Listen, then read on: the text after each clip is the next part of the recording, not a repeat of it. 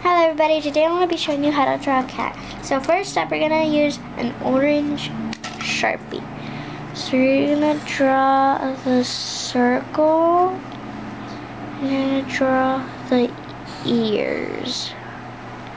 Now, what you're going to do is you're going to use a pink skinny Sharpie. It's like a pen, but mostly like a Sharpie. You're gonna draw the inside.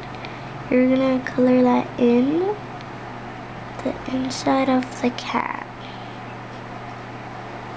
Now we're gonna draw like a little nose. A pink nose.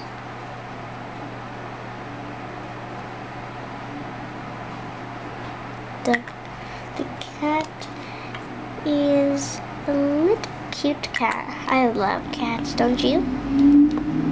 They're cute. Now what you're gonna use is a blue Sharpie.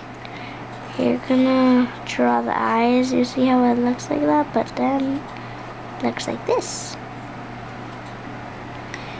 You're gonna want to use the orange Sharpie again and draw the body.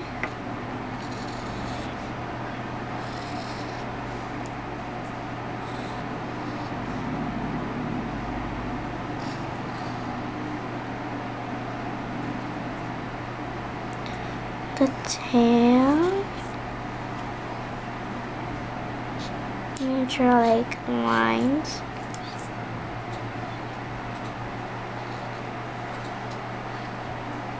The cat has like little spots.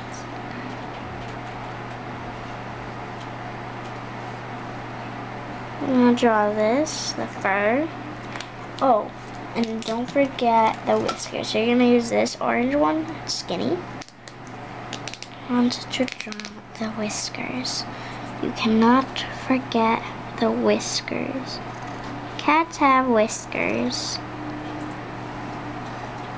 There we go. And draw like the lines for the little feet. You can color your cat if you want to, but I'm just going to leave my cat like this this is how my cat came out. Thank you guys for watching my video. Please hit that like button and subscribe.